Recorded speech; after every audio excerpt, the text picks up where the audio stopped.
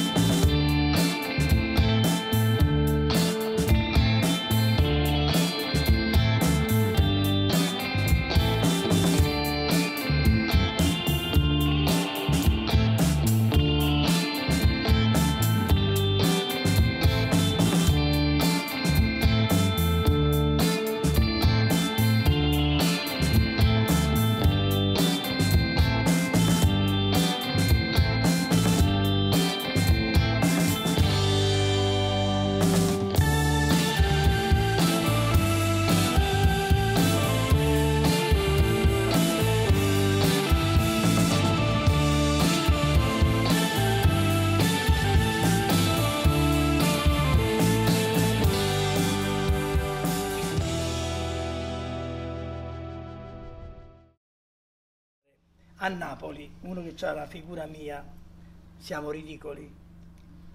E, e, con il mio fisico potevi solo far ridere, non potevi far piangere. E ancora oggi io subisco a volte nei supermercati, vado un McCurto chilo, oh, come i bambini, mamma perché il signore è piccolo? Io nasco come comico, e mi chiamo Merola. Questo impresario di Merola, che era un personaggio già lui di per sé. Ehi, la co! bellissimo. O sa che ti sei bella, stavo trovando Mari Merola. Mari Merola. Dove posso incontrare il signor Merola? E, e dice, io non, non rinde cazzo, non vado a papire. Un barbiere sarebbe. Sì, sì. E dico, ma di lunedì, ma state sfottendo, un barbiere sta chiuso. Cioè, sta chiuso per te un papire, no per Mario Merola. Viene, vabbè, scusate. E Mario Merola stava mh, davanti allo specchio, lo stavano facendo in mani chiuse, e io passai da dietro a lui e lui mi vide attraverso lo specchio. Buongiorno. Buongiorno. Amico, ma che stai tutto? No, c'è ti la di metri te in casa. allora non me lo figlio zoccoli, a me, stai tu con lui. Mi chiamo subito, mi etichetto. E così ho fatto cinque anni con lui. Anche cinema, ovviamente. Poi. Tre film e teatro, sì. tre film e teatro fatto giuramento, torna in Guapparia con lui e poi cinque anni di teatro, sceneggiata, molto bella, mi faceva il piede. Siamo stati in America con lui, tanta roba, insomma. Vabbè, lui era una persona eccezionale, che, che se ne dica. Ecco, la vita dicono che bisogna trovarsi al momento giusto, al posto giusto, no? Vedere. No, io so d'accordo. A vedere perché io stavo a casa mia tranquillamente in una, sere, una serena serata di, di, di 22 anni fa, quando mi arriva questa telefonata verso le 10 di sera ed era proprio un, un, quel ragazzo come sono andato insieme a un altro, due amici miei insomma, che lavoravano all'epoca a Roma, fanno, facevano teatro a Roma, e mi chiama questo e mi dice Ernesto, senti, noi siamo a tavola con un regista cinematografico che ti avrebbe scelto tutto così, tutto dinamico, ti avrebbe scelto come, come, attore del suo prossimo film, come protagonista. Posso dire una parolaccia, siamo adulti, adulti ma quando finisce il stronzo? Perché io pensavo che fosse uno scherzo. Dice no, io più mi arrabbiavo e lui più, no Ernesto è vero, ti passo il regista.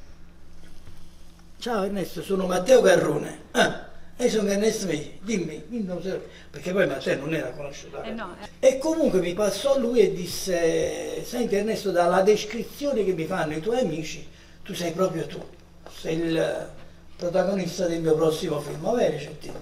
Ma questo avveniva di giovedì, venerdì.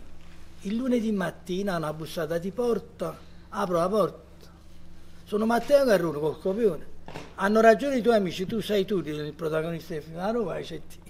Io devo leggere, il... lo feci fare il caffè da mia moglie ed era lessi il copione, dico ma non se ne parla proprio.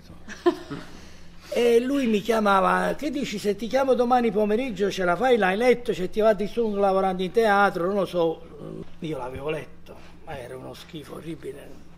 E facevo vicino a mia figlia, non ci sto, non ci sto. Insomma, per non portarvela alla lunga, è durata questa cosa per un paio di mesi. Lui chiamava, io facevo, non ci sto. Un bel giorno mio figlio più grande, una cosa gravissima, disse, papà, c'è Matteo Carrone a telefono, fai l'uomo. Quando un figlio ti dice fai l'uomo è tremendo fatto. E allora io feci l'uomo e dissi ma te, a me il film non piace, non lo voglio fare, ho 56 anni, ho una piccola carriera di teatro da difendere, ho fatto pure 5-6 film con delle ottime firme, quindi non posso macchiare la mia carriera così. Voglio lasciare un bel ricordo ai miei figli, poiché non lascio il capitale, ma almeno lascio un cognome. E lui disse, ma no, ma non esiste, guarda, vieni a Roma, facciamo, diciamo. Andai a Roma, fece dei tagli, vabbè, un contentino del cavolo perché non tagliò nulla.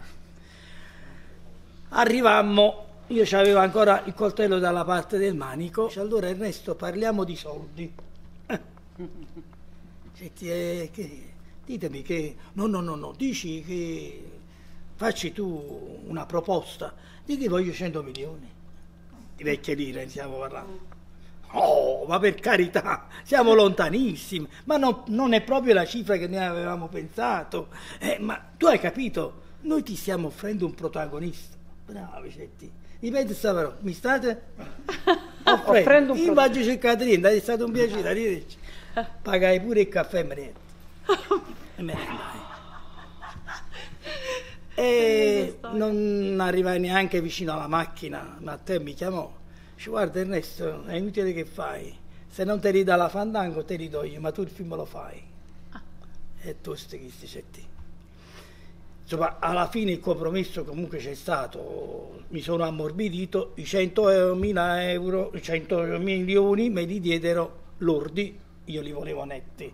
Insomma, questo è stato l'accordo. Matteo nasce pittore. Ah, non lo sapevo. Lui ha fatto dei quadri, lui, lui è pittore, quindi lui usa la macchina da presa quasi come un pennello. Ah, vedi, vedi, questo... Lui è bravissimo, lui gira con la macchina Eh, so, spalla. lo so, sì, vero. Matteo diventa il- l'altro protagonista del film, capisci? E non sai mai dove stava. Te lo trovavi qua, te lo trovavi là, lo- capito? Pensa che il, il direttore di- della fotografia, Marco che è morto purtroppo, che poi era il suo patrigno, lo sapeva ormai come girava Matteo. Quindi Matteo diceva qua è il set, però Matteo poi se ne andava laggiù, capito? Allora questo Marco aveva imparato, ci faceva il luce per tutto il percorso, quando era lunga la strada, stando là va a finire, capito? Per cui eh, Marco Onorato, ho fatto lui pure Forta Pasce, e un altro film pure, Chiamami Salomè pure, Sì. con la fotografia di Marco Onorato che era un signore nato. Eh, il vero ambasciatore era Domenico Semeraro, che era un professore universitario di chimica, alto così, perché io poi ho visitato i luoghi che lui lo chiamavano il nano di stazione Termini. Quando sono, Matteo mi ha portato nei luoghi dove lui ha frequentato le università, le cose, e dicevano tutti, "Ah, ma, ma tu sei alto. Io ero alto, figurati chi che ero. Marò. E, e questo qua però era affiliato con la Camorra, tagliava le- essendo chimico, tagliava le droghe per la Camorra. E poi aveva il vizietto, insomma, che la sera andava a stazione Termini, prendeva questi ragazzi drogati che dormivano a terra, sai, questi spalestrati, se li portava a casa, li dava da mangiare, gli dava i soldi e faceva sesso con loro, naturalmente. E con uno di questi poi nacque l'idillio, si innamorò terribilmente. Il ragazzo l'ha sfruttato finché poi il ragazzo era fidanzato. La cosa incominciò a dare fastidio, questo menage a tre. E una bella sera, a seguito di una lite, eh, successo il morto, insomma. Il ragazzo l'ha ucciso, insomma. E lo buttarono nei rifiuti della spazzatura. Stavo girando un film in Puglia e all'improvviso è venuta una pattuglia della polizia. Signor Maio, io mi sono spaventato. Pensavo a una disgrazia dei miei figli. Viene questa poliziotta femmina, bella donna, signor Maio, posso stringerle la mano? Dico basta che non mi mette la manetta. Dice no, no, io sono la nipote di Domenico Semeraro. La voglio ringraziare per come lei ha nobilitato mio zio nel film. Pensa te, che era sto Domenico Semeraro. Io nel film l'ho nobilitato. Lei l'ha fatto uscire un signore mio.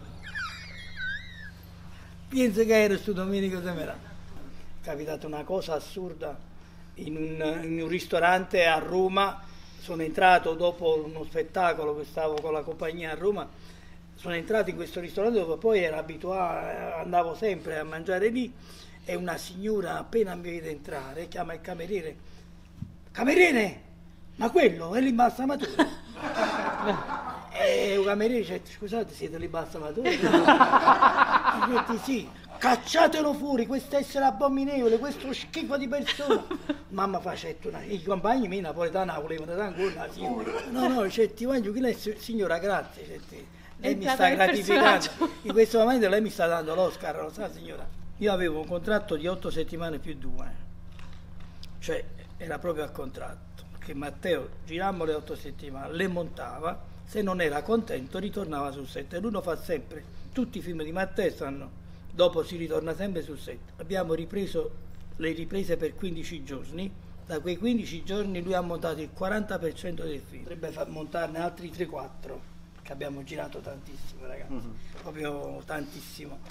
Eh, che però è tutto cose che poi lui ha tagliato, ha tolto di mezzo perché erano scene assurde, scene di sesso a tre, scene mm, di droga, tanta roba che io l'ho girata per carità perché poi mi ero impegnato a farlo, ma lui stesso aveva capito che era, era troppa roba, era, era Già così il film era vietato ai minori di 14 anni. Eh. Ho avuto una pizza così, vedi, di, 100, di 120 metri, che me l'ha regalata proprio la produzione. Cioè Ernesto, questo l'avevamo comprato, poi questo tu sei stato, sei andato, abbiamo finito il film prima del tempo che avevamo previsto. Me l'hanno regalata, una, una bombina così vergine. E beh, siamo stati a Cannes, abbiamo avuto 10 minuti di applausi a Cannes. penso che io non avevo visto un, un uh, niente, un'inquadratura, niente, un fotogramma, non l'avevo visto. Non c'è la possibilità di vederlo? No, io quando giro i film non voglio mai, i registi mi chiamano, vieni, vieni a vedere nel, che tu lo vedi subito sul digitale, vedi subito, no? Certo. Non voglio vedere nulla perché il film non è mio, io sono un attore, il film è del regista. Quello che piace a me non piace a lui e viceversa. E allora di che parliamo? Poiché mi piace rispettare i ruoli, la cosa stupenda, credetemi, è stata che io ho visto il film che avrei montato io. Cioè, era il film che io avrei voluto fare. Quindi ecco, qui è la mia grande stima di Matteo, però poi alla fine ha notato il film che, che doveva, che doveva do, nascere. Che doveva nascere.